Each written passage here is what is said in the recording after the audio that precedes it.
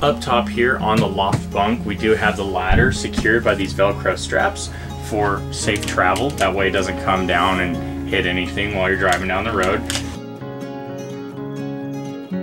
Now this mat is hard on one side, but it's soft on the other in order to get plenty of support.